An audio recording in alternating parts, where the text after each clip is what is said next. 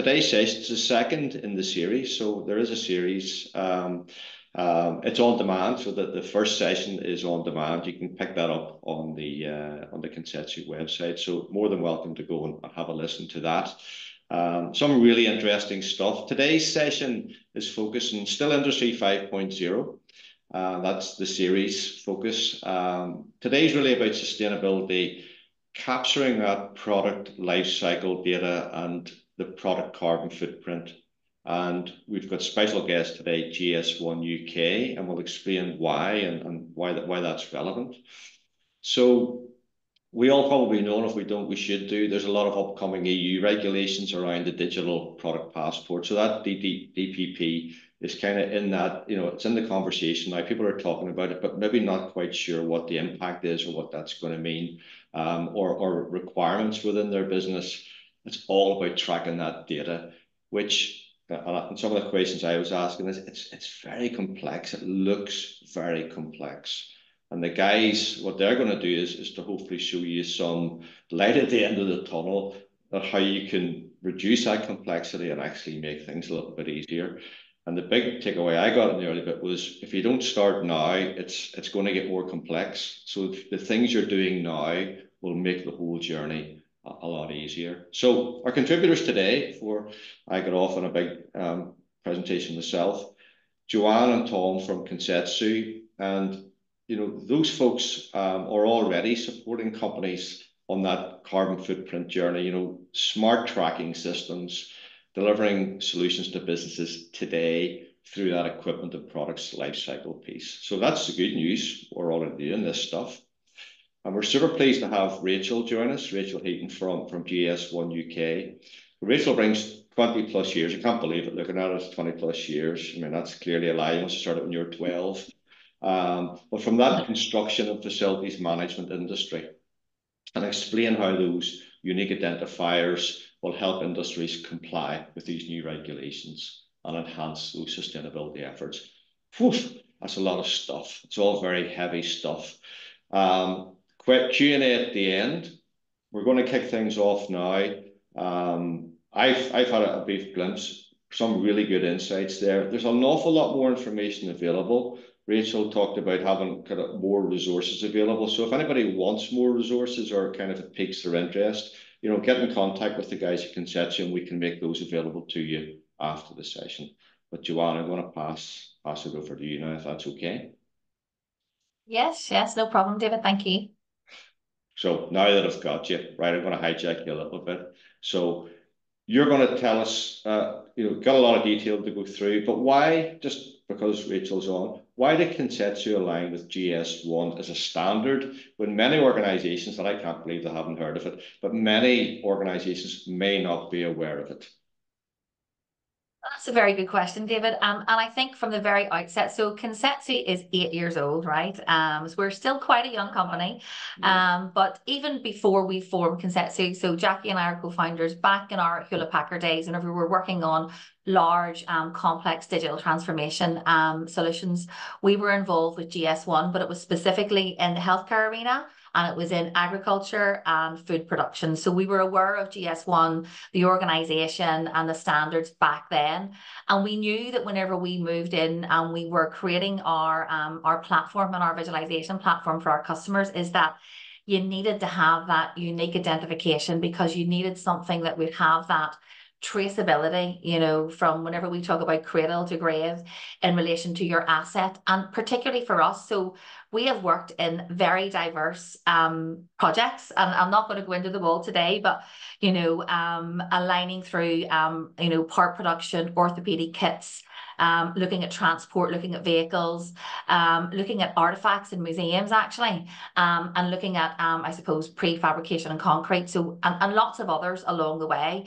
But yeah. I, I think that for us, each and every one of those projects has something that is an asset that is a physical thing that we are um, connecting to and we're aggregating data and we're visualizing that to make our customers' jobs a little bit easier.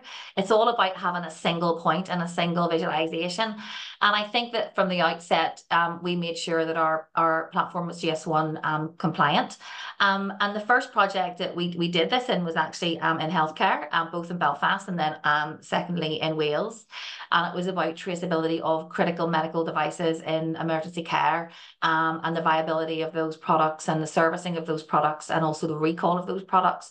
But then from, from then, it's actually been in, in so many different industries that we've utilized it. Um, so we've been a partner um, with GS1 for eight years, but I have I haven't actually met Rachel until recently.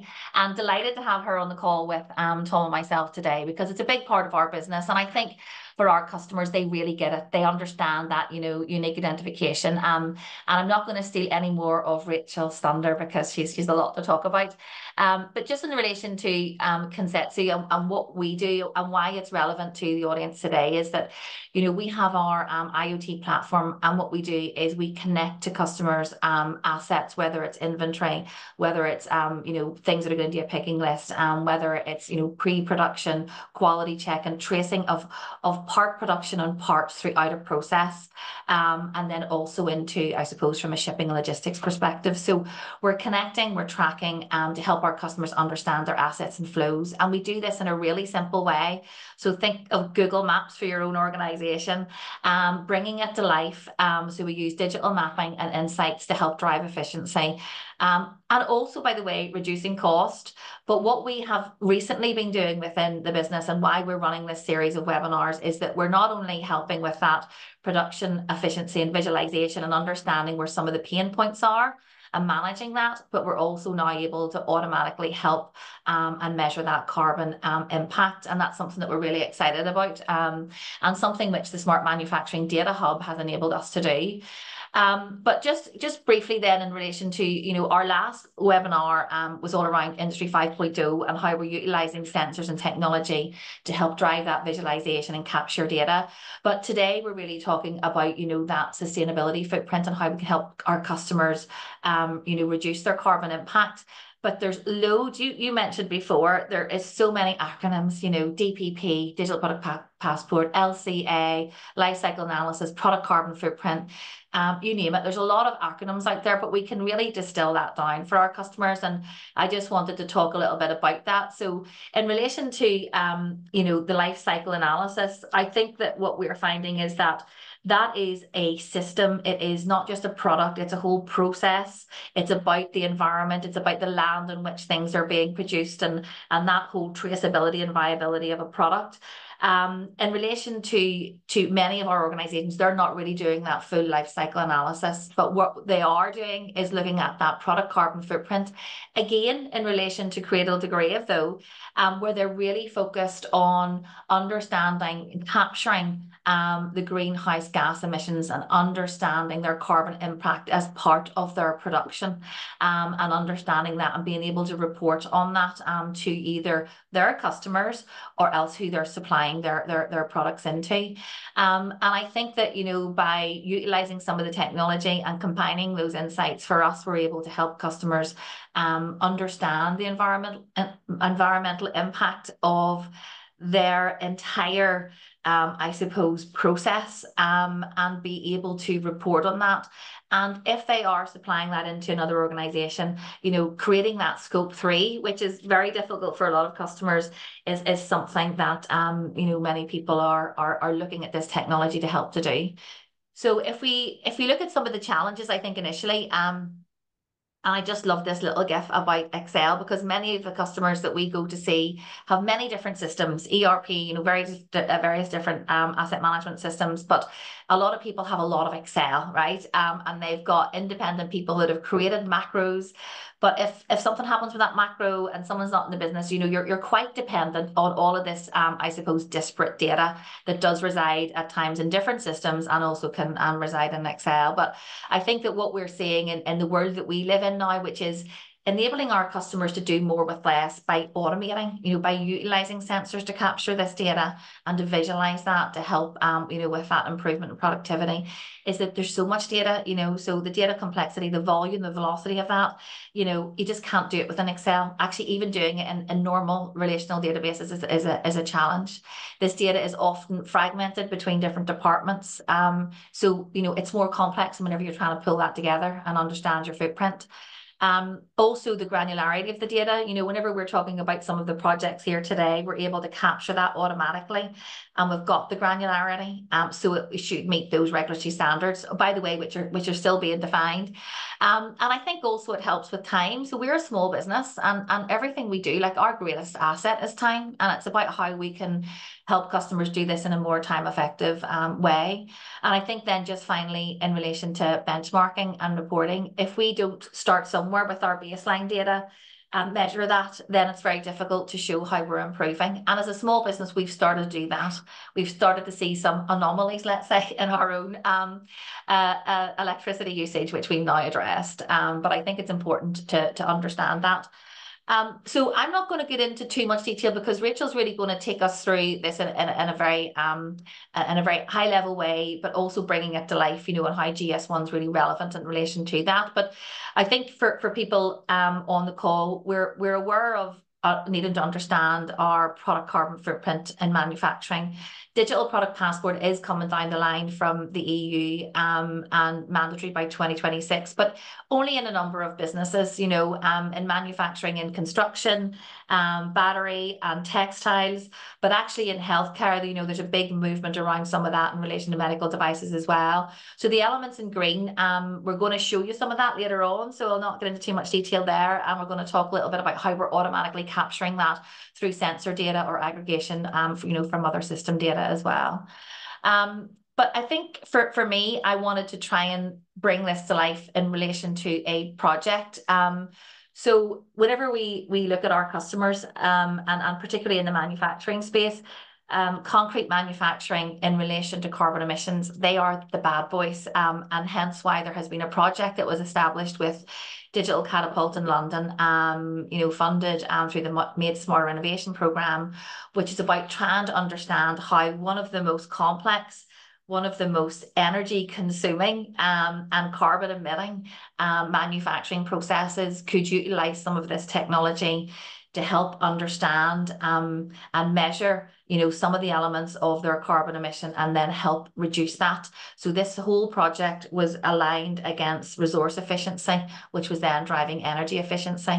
Um, and if i look at it you know in relation to to where we were with that project you know we're working in an environment that that is quite harsh you know but we are doing real-time um, data collection. Um, and we're using sensors from design stage right through to quality in relation to understanding, um, you know, the pre-product, you know, whenever something's going through from a rebar, fitting and, and molding, you know, the curing time and quality, and then also into dispatch and being able to understand how long a product has been in a certain area, the movement of that product and the temperature. Um, and we're using, you know, um, I suppose receivers, let's call them. Uh, Tom can talk about the technology later, that are strategically aligned in those areas to bring this to life for the customer and represent this all on a, a digital map so they can see that information from the CFO, head of production, right down into the people on the floor as well. Um, and that's giving that end-to-end visibility, you know, so being able to continuously monitor um, and understand that cycle time and dwell time. Because for, for many of our customers, it, it have I got the right product in the right place and the right resources in the right place at the right time to ensure that I don't have some blockage in relation to I don't have the right tool or I don't have the right person or you know something hasn't set as it were in, in, in this particular um, case. And we're automatically capturing all of that and presenting that to the customer to help manage that anomaly.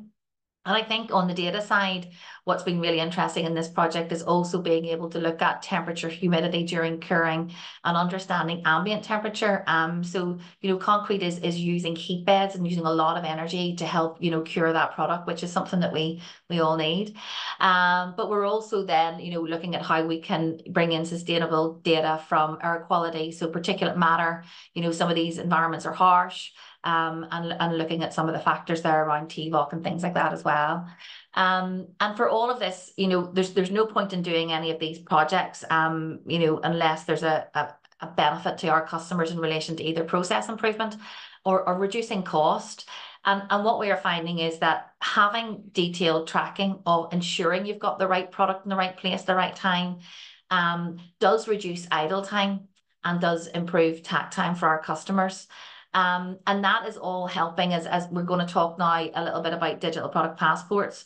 But within, you know, the construction industry, um, you've got the construction product readiness, um, and you know, being able to capture data for that.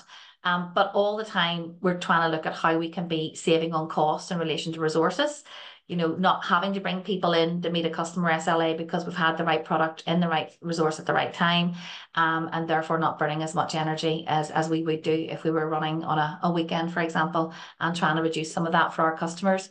And I think then just finally, um, and Tom's going to talk about the data, it's where we aggregate that um, and how we bring that to life for our customers through very simple visualizations, but really help them on their day to day.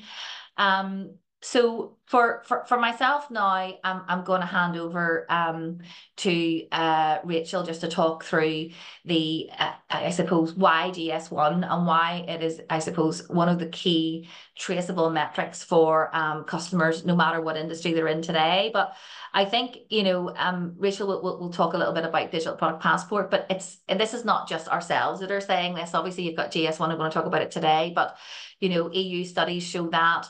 Um, Capgemini, we talk about that as well in relation to the fact that if we are able to introduce technology, it will help improve our carbon footprint, but also help in relation to our return on investment as well.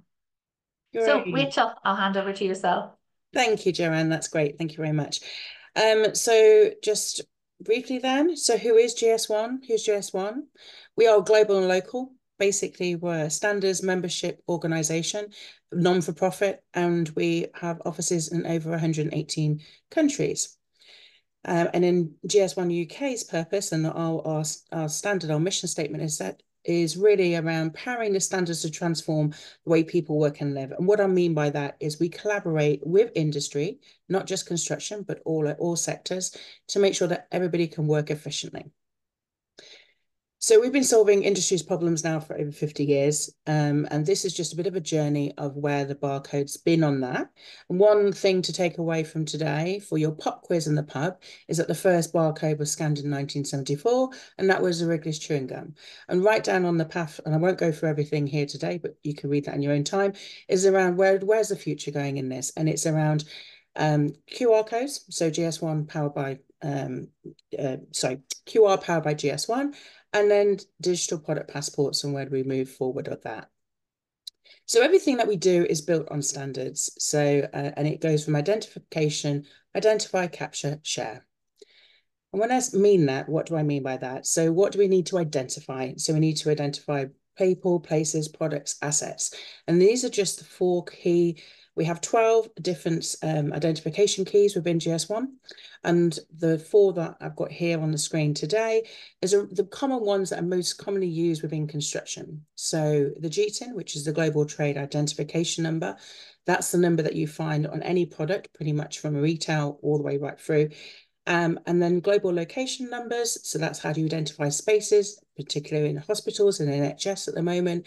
In the UK, that's where we're being used. Um, and GIAIs, that's also being used by K-Track, our global identifier. Um, and then um, SSCC, SSCC. Um, again, like Joanne said, too many acronyms within the whole of the construction, and we're just not making it any better. But these are our standards. Um, so GTIN, this is what you see. This is the barcode. This is how you define it. But a barcode is not just, you can actually have more data within that. So within a, a GS1 data matrix or in a QR code, you can actually create and put more data in there from a serial, serialization or batching and expiring. Um, so this is obviously used within retail as well.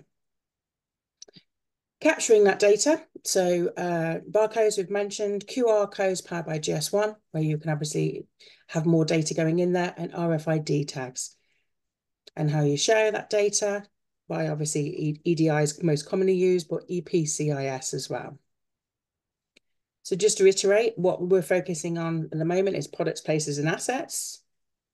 And this slide, although it looks like there's a lot of letters on here, this is really explaining to you that the GS1 standards can go throughout the whole product lifecycle, right from raw material supply, right through to maintenance and repair, so end of life. Um, so this is just a, I'm not expecting you all to take all these in, but uh, this you can refer back to this.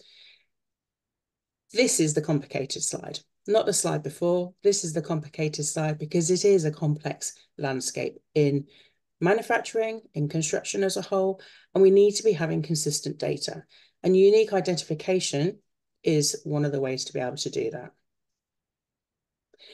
We've segregated this down and looked at different construction sectors as, and to make sure that we can talk about GS1 standards and include everybody within our conversations.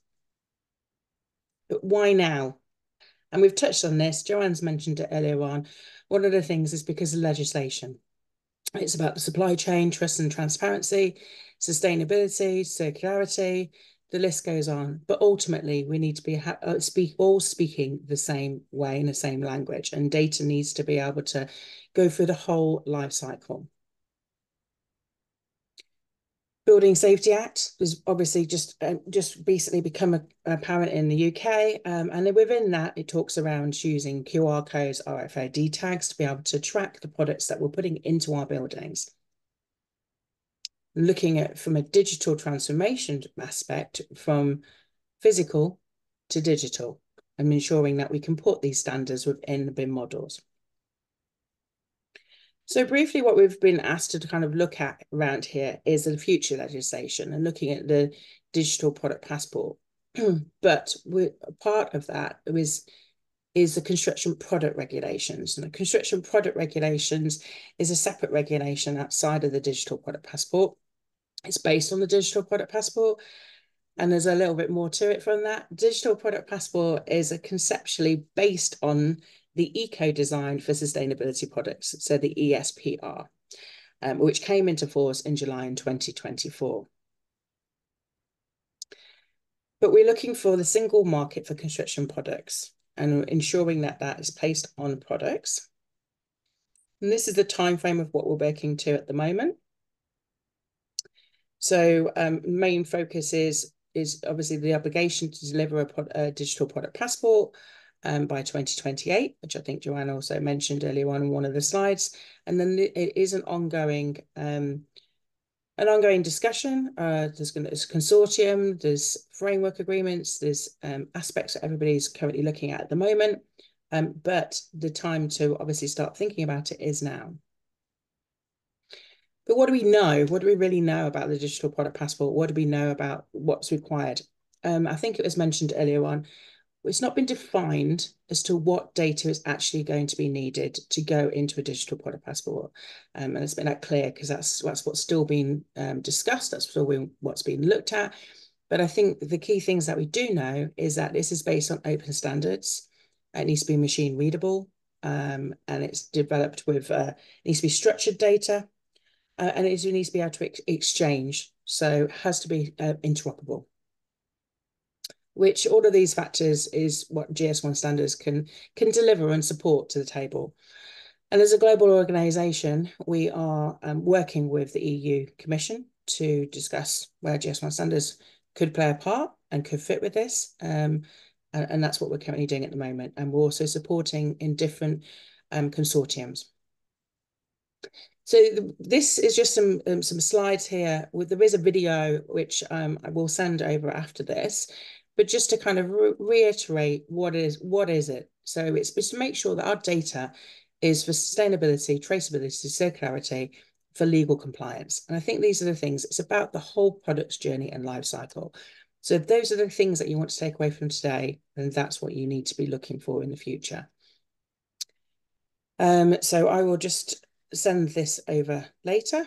But again, just reiterating what we're looking for. So what could a digital product passport look like according to the construction product regulation?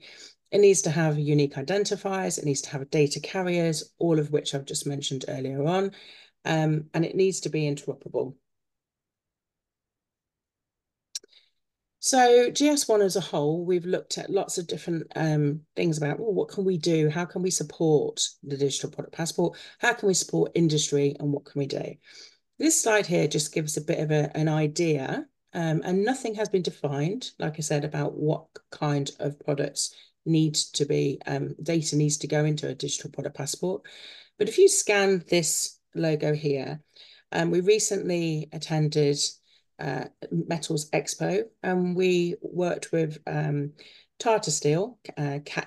Um, this is a steel lintel with our partner Earjet, um, and they printed, um, etched on this QR code. Um, and it, you can see the digital information behind it. And this just gives you an idea that there is uh, the types of information you could put in there.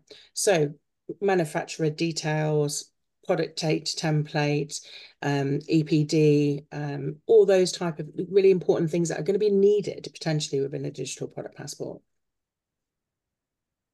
I don't know um, the feedback from the audience, but hopefully everybody can see that and uh, scan that. It works. The good news is it works. Yeah. it works. This is good, David. This is good.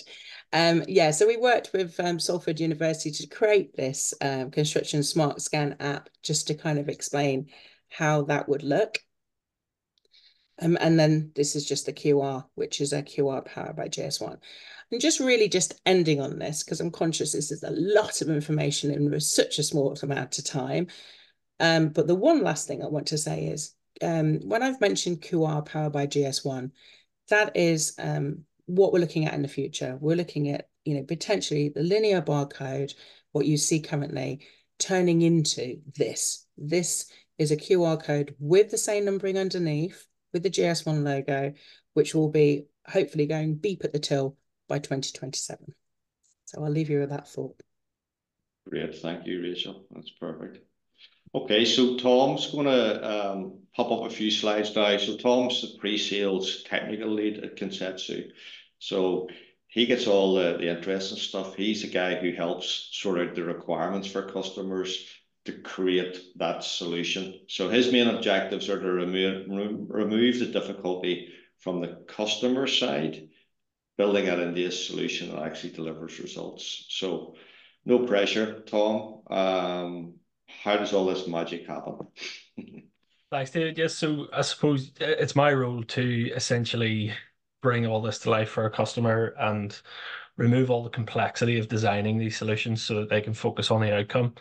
Um, so I'll try and bring this to life today um, and talk through how we're currently utilizing technology um, and aligning that with DPP, but also, you know, delivering some results now.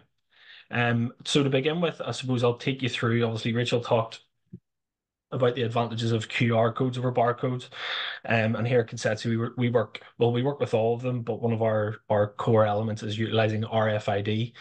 Um, so some of the differences between RFID and barcodes, um, you know, so RFID is essentially a little computer chip um, inside a, a, tag, and you can see it on the on the right hand side there um, with the orange background, and that allows us to store a lot more information about the product. So you know, it allows us it allows the user to build on that GS1 structure um, that that Rachel talked about. Other benefits, um, you know, you, you can automatically capture RFID codes um, or RFID tags as they move through a process or through a facility. Um, you know, if you have very um, strategically placed RFID readers, you can essentially watch the flow of assets as, as they move.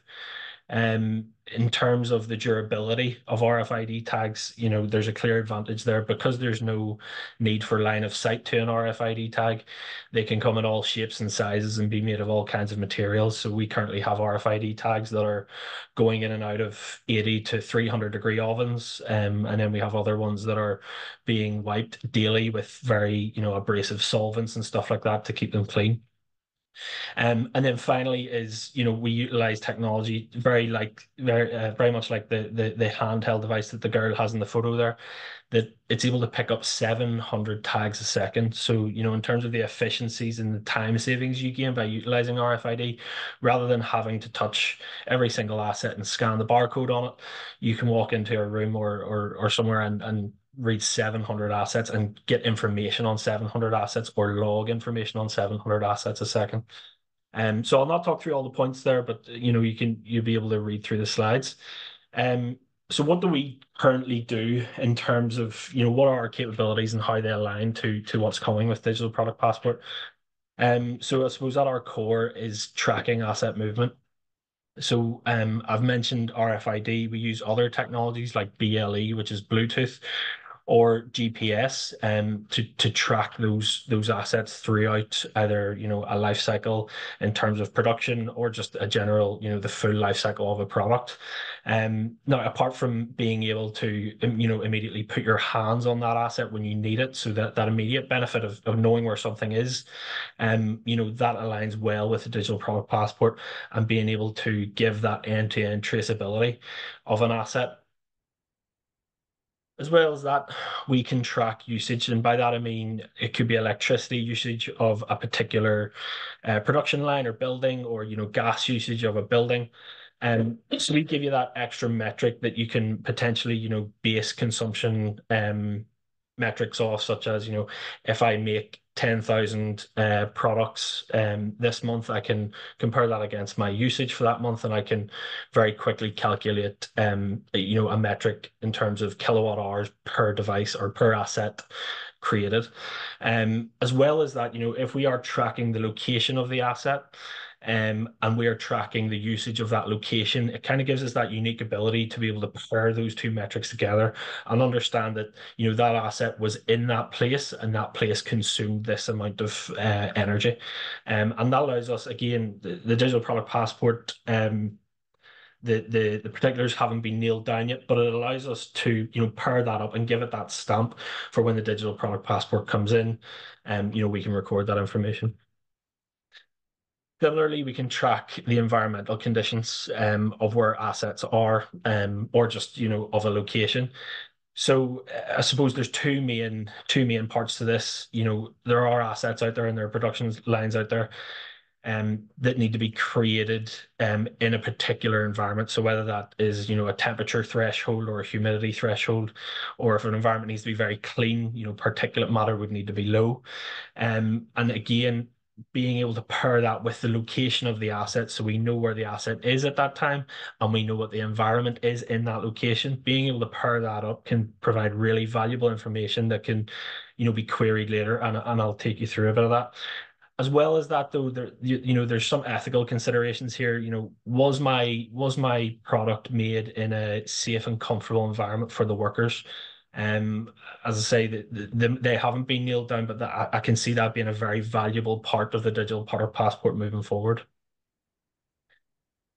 Finally, obviously, you know, we we are um we're we're capturing all this data for the digital product passport, but that doesn't mean it has to be stored away and and and um you know not looked at. The reality is, if you are capturing this data, um, you can use it now as well as provide that data to the digital product passport. So I'll take you through how, you know, potential operational efficiencies and changes can be made now. So you're getting that benefit now as well as preparing yourself for the legislation coming.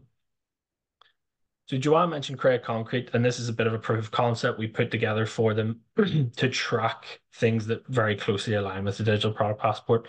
So we can see here two clear, uh, distinct kind of parts where we have production metrics, and that tells us things about you know the date that that, that, particular panel was manufactured.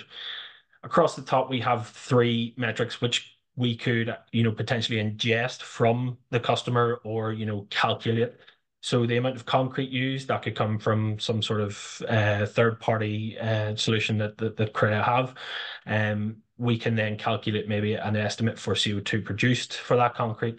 And then we can either ingest information from some sort of electricity provider or indeed, as I mentioned, add uh, electricity sensors to, to understand what sort of electricity they're using. Then these other metrics um, in the production, they are the environment on the date of production. So Creagh in 10 or 15 years uh, can go back and look at what was the what was the environment like that that particular asset was made in. Could that have an impact on um, you know why a particular lifespan of a product was was shortened or, and things like that. And that it just provides that valuable information to ensure that they're providing the products in in the correct way. The second part here then is a storage metrics. So um obviously if we're tracking where the product is we can tell you exactly where it is so that you can go and get it and, and ship it out to a customer. But we can also tell you things like how long has it been in storage and what way was it stored um, so by having a, a sensor on the on the um, asset that allows us to track temperature and humidity of the asset, we can alert on things if there has been a temperature threshold break. That maybe means a you know a, a colleague needs to check that asset before it ships to a customer, or we may need to remake the product. While we're gathering this information about the assets, you can, as I say, you can start to make these operational changes. This is a this is an example of how data could be used to potentially identify a particular anomaly in terms of the curing stages of of the concrete. So you can see here we have six panels that um, seem to follow a normal curing cycle pretty evenly, but we have one that um, followed a completely different curing cycle and might not be ready for demolding. So this allow this data allows me to go and investigate why this is. Is there a change in the mix? Is that something I should be picking up on, or is this a particularly cold part of the factory and, and stuff like that? So having this data obviously is great for the digital product passport and the legislation is coming, but it allows you to kind of make some operational changes now. So where do we align right now with K-Track? So as you can see here, we have a lot of detail about an asset, and this is the asset screen and the asset description, the asset details screen that we have. Um, so we can assign friendly names and unique names, um, you know, for that uh, particular asset. But as you can see, just uh, the second one up from the bottom there, we have that field for the GIAI as Rachel um, described. So at our core is that GS1 um, identifier and that unique identifier unique identifier for that product. We can include other unique references and you know equipment types and things like that. And then here are the other metrics that I was that I was talking about. So whether we're ingesting that CO2 or calculating that CO2, you know, we're, ta- we're talking about the particulate matter on the date of manufacture. We could ingest things like the repairability index score, which is coming with the digital product passport. And again, these are CO2 levels at the time of production and humidity levels and all that sort of stuff. And that that's where that's where K-Track is right now, ready to be utilized for that data ingestion and that data visualization. And now, and to you know essentially ease the pain of that move to the digital product passport. And I will hand back over to Joanne for this. Slide. Can I just can I just jump yes. in one, one yep. question just before that? So obviously every industry, every business is going to be different. You know, so yep. you described the, the Creagh Concrete one, which is very specific, and it, you know, and you described even uh, which I didn't know in terms of the different RFID type, you know, technology you can use it, you can abrase it and heat it and all that sort of good stuff. So that's obviously came a long way from what I kind of knew. But how would a how would a customer decide on the best technology to use for their specific operation? Because you, you know you don't know what you don't know. So how how would you even begin to start with that? I suppose there's lots of different companies doing it in lots of different ways, but at Kinsetsu, we provide that pre-sales um, function which you know essentially i lead that in terms of abstracting all that complexity away from a customer. Um, and it just allows the customer to focus on the the outcomes that they're wanting to see. So whether that is that those operational efficiencies now or the dpp preparation um that's all they should have to worry about when they come to Kinsetsu because i'm the one in the background putting all the building blocks together to, to build the solution that, that will meet those outcomes Right. Um, now I can't speak for other companies, but that's what we do. uh, no, that sounds yeah, yeah. It's it's the what, not the how. Yeah, that's yeah. yeah. Yeah, and David, right. from that perspective, you know, if you are have, using GS1 standards and a GS1 member, then you know we would advise and support the best solution to be able to do that tracking and tracing of identification for the products. So, um, and then that's where partners like um, Kinsetsu obviously help and play that part, we can obviously then advise and they can advise and support of how they can work with us. Brilliant.